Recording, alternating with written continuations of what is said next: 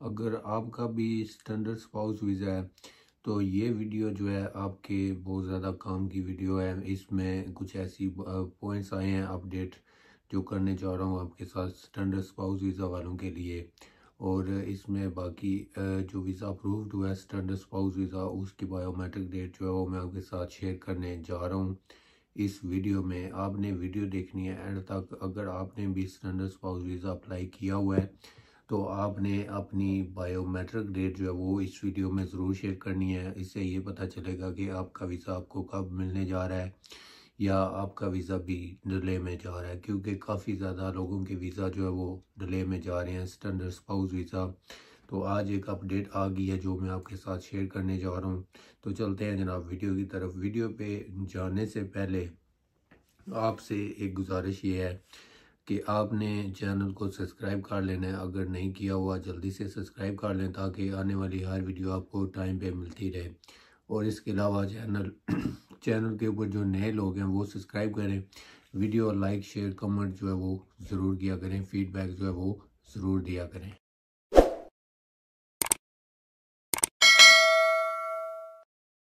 تو سب سے پہلے آپ کے ساتھ شیئر کرنے جا رہا ہوں۔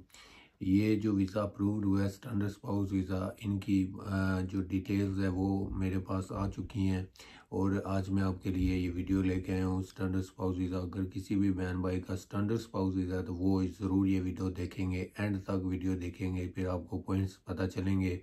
اور اس کے علاوہ یہ بھی میں آپ کو بتاؤں گا کہ آپ کا اگر سٹینڈرڈ سپاؤس ویزا ہے تو وہ ڈیلے کیوں ہو رہا ہے۔ کیا ریزن ہے؟ اور اس کے علاوہ کچھ اور اپڈیٹس آئی ہیں جو آپ کے ساتھ شیئر کروں گا۔ ویڈیو اینڈ تک دیکھیں گے تو آپ کو پتہ چلے گا۔ تو سب سے پہلے میں آپ کے ساتھ جلدی میں شیئر کرنے لگا ہوں۔ ٹائم بہت کم ہے ویڈیو شارٹ بنانی پڑے گی۔ تو سب سے پہلے میں آپ کے ساتھ شیئر کرنے جا رہا ہوں۔ Application date twenty nine January کی eh, دو ہزار چوبیس میں ہے۔ Twenty nine January twenty twenty four اور ان کی بایو میٹرک ڈیٹ جو ہوئی ہے وہ ہوئی ہے thirty January twenty twenty four یعنی کہ نیکسٹ ڈے ان کو اپوائنٹمنٹ مل گئی تھی بایو میٹرک ڈیٹ کی. تو ان کا ویزا جو ہے بایو میٹرک ڈیٹ جو ہے ان کی ہو چکی ہے جناب تھرٹی جنوری کو. ایکو ای میل ان کو جو ہے وہ کہہ رہے ہیں کہ date not receive one echo email ان کو ریسیو نہیں ہوئی. یہ بھی انہوں نے کلیئر بتا دیا ہے. سکسیسفل ای میل جو ہے وہ ان کو آئی ہے twenty March twenty twenty four from solicitor received nineteen three twenty twenty four تو ان کو یہ جو ڈیزیشن کی ای میل آئی ہے سکسیسفل کی آئی ہے پہلے اٹھارہ تاریخ کو، پھر آئی ہے انیس تاریخ کو مارچ میں۔ یہ جناب ان کے سولیسیٹر بھی تھے۔ سولیسیٹر کے تھرو انہوں نے ویزا جو ہے وہ اپلائی کیا ہوا تھا۔ اور اس کے علاوہ انہوں نے تھینک یو سو مچ بھی بولا ہے فیڈ بیک دی ہے کہ آپ کا چینل جو ہے وہ ویری ہیلپ فل چینل ہے، بہت زیادہ انفارمیٹیڈ ویڈیوز آپ نے لگائی ہوئی ہیں۔ تو دیٹس ریلی گڈ نیوز ہے۔ اور اس کے علاوہ کافی انہوں نے لکھا ہوا ہے۔ تو ٹائم کی کم ہونے کی وجہ سے میں آپ کو آج شارٹ شارٹ آپ کو بتا رہا ہوں کچھ پوائنٹس ہیں جو۔ اور اس نے یہ یہ بھی ساتھ لکھا ہے لکھا ہے good luck to everyone looking to apply and finger cross too for everyone still waiting for the decision تو ان کا جناب یہ ہے کہ جو بھی لوگ ویٹ کر رہے ہیں، گڈ لوگ سارے، سب کے لیے انہوں نے بولا ہے۔ اسپیشلی جن کے اسٹینڈرڈ ویزاز ہیں اور کافی دن ہو گئے ہیں، کافی ٹائم ہو گیا ویٹ کر رہے ہیں، پریشان ہو رہے ہیں۔ آج نو کہ کیا فیلنگز ہوتی ہے۔ اس میں یہ ہوتا ہے کہ دو دن پہلے کا بندہ جو ہے، اس کا ویزا اپرووڈ ہو گیا اور دو دن بعد جس نے اپلائی کیا ہوا تھا ان کا ویزا نہیں ہوا تو وہ کافی پریشان ہوتے ہیں جی اس کا ویزا کیسے ہو گیا؟ ہمارا نہیں ہوا۔ تو یہ لوگوں کے اوپر ڈپینڈ نہیں کرتا۔ جب آپ اپلائی کرتے ہیں، یہ ڈپینڈ کرتا ہے یو کے ہوم آفس کے اوپر امیگریشن کے اوپر۔ وہ جب ویزا چیک کرتے ہیں تو وہ ویزا آپ کو دیتے ہیں۔ میں پہلے بھی ایک ویڈیو بنائی تھی اسی طرح اسٹینڈرڈ ویزا کے والے سے۔ اس میں کچھ ایسے پوائنٹس بتائے تھے۔ شاید آپ نے وہ ویڈیو نہیں دیکھی تو آپ میرے یوٹیوب پہ ضرور وزٹ کریں گے۔ آپ کو وہ ویڈیو بھی مل جائے گی۔ تو اس میں یہ ہوتا ہے اسٹینڈرڈ سپاؤس ویزا جو ہوتا ہے یا اور بھی جو بھی ویزاز ہیں، جو امیگریشن آفیسر ہوتے ہیں، وہ یہ نہیں کہتے کہ اس بندے نے آج جمع کروایا ہے تو دوسرے نے کل تو اس کا آج والے کو چھوڑ کے کل والے کو چیک کرتے ہیں، وہ ایسا نہیں ہے۔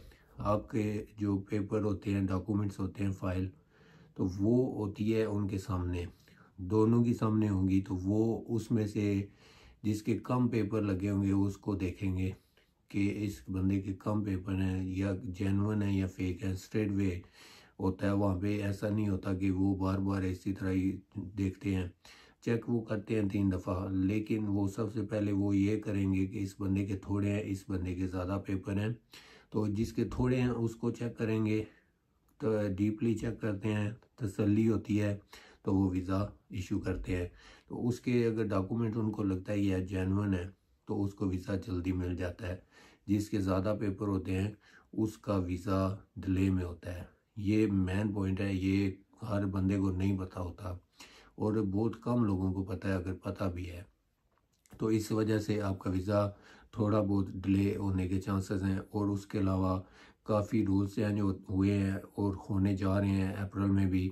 تو اس وجہ سے بھی، جو ہے، یو کے امیگریشن بہت زیادہ بزی ہے۔ ہوم آفس جو ہے وہ کافی لوگوں کے ویزا جو ہے وہ ڈیلے میں پڑے ہوئے ہیں۔ کیونکہ لوگوں نے ویزا ایکسٹینشن کے لیے جو اپلیکیشن سبمٹ کر دی ہیں، وہ سب سے مین پوائنٹ ہے جو ریزن ڈیلے کا آ رہا ہے آپ کے ویزاز کا، وہ اس کے پیچھے یہ ہے کہ ایکسٹینشن لوگوں نے تین مہینے پہلے اپلائی کر دی ہے، اپلیکیشن جو ہے وہ سبمٹ کر دی ہیں کہ فیسیں جو چینج ہو رہی ہیں وہ ان سے بچ سکیں۔ تو یہ تھی جناب اپڈیٹ سٹینڈرڈ سپاؤس ویزا کے والے سے۔ اور ڈلے بھی ہونے کا ریزن آپ کو بتایا ہے۔ یو کے ہوم آفس میں اتنا سٹاف نہیں ہے جتنے ان کے پاس کیس آ گئے ہیں۔ تو وہ لائن وائز جو ہے وہ چیک کر رہے ہیں، ترتیب سے وہ آپ کے ویزا چیک کر رہے ہیں۔ سختی بہت زیادہ ہو چکی ہے۔ تو جن لوگوں نے ویزا اپلائی کیے ہوئے ہیں جینون ہے اگر آپ کے ویزا تو آپ کو ضرور ملیں گے۔ یہ میں آپ کو کلیئرلی بتاتا ہوں۔ اور جن لوگوں نے فیک ڈاکومنٹس لگائے ہیں تو ان لوگوں کے لیے پرابلم ہے۔ اگر آپ نے انگلش کورس بھی فیک کر لیا سرٹیفکیٹ لگا دیا ہے، تو آپ کے لیے پرابلم ہو سکتی ہے۔ آپ کا ویزا لگ جائے گا، لیکن آپ جب ایئرپورٹ کے اوپر آتے ہیں تو آپ کا انٹرویو ہوگا۔ تو اس میں بھی آپ کو پرابلم ہو سکتی ہے۔ اگر آپ کو انگلش نہ آئی تو آپ کو پرابلم ہوگی۔ آپ واپس بھیج دیے جاؤ گے۔ ایسا ہوا ہے لوگوں کے ساتھ ایئرپورٹ کے اوپر۔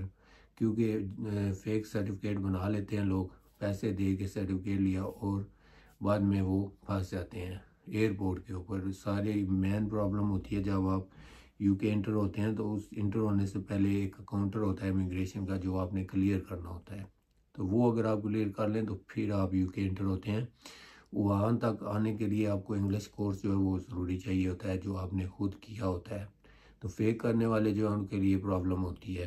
انگلش میں اگر آپ کی پرابلم ہے تو آپ کو بہت جو ہے کہ واپس بھیج سکتے ہیں یہ ایئرپورٹ کے اوپر سے۔ تو آج کی جو ویڈیو تھی اسٹینڈرڈ اسپاؤس ویزا کے والے سے تھی۔ امید کرتا ہوں کہ آپ کو سمجھ آئی ہوگی۔ آپ نے اپنی بایو میٹرک ڈیٹ جو ہے وہ اس ویڈیو میں کمنٹ کر کے بتانا ہے۔ اسے پتہ چلے گا آپ کو آپ کا ویزا کب ملے گا۔ اور اس کے علاوہ کاز لیٹر کے والے سے اگر کچھ بھائی بہن ویٹ کر رہے ہیں تو ان کا کاز لیٹر ڈیلے میں کب آپ نے اپلائی کیا تھا۔ اور اگر اپروفڈ ہوا تو وہ بھی آپ بتائیں گے کیونکہ آپ ویزا ڈائریکٹ اپلائی نہ کریں۔ کاز لیٹر کافی زیادہ سکیم ہو رہے ہیں، کافی زیادہ فیک نکلے ہیں۔ تو آپ نے پہلے چیک کر لینا ہے، اگر چیک نہیں کر سکتے تو میں آپ کے لیے چیک کر سکتا ہوں۔ آپ مجھے واٹس ایپ کا نمبر ڈسکرپشن میں آپ مجھے کاز لیٹر کی تصویر بھیجیں گے اور ای میل بھیجیں گے جس ای میل سے آپ کو کاز لیٹر رسیو ہوا ہے۔ اس میں اسکیم بہت زیادہ چل رہا ہے۔ جیلی جو ہے فیک کاز لیٹر نکلے ہیں۔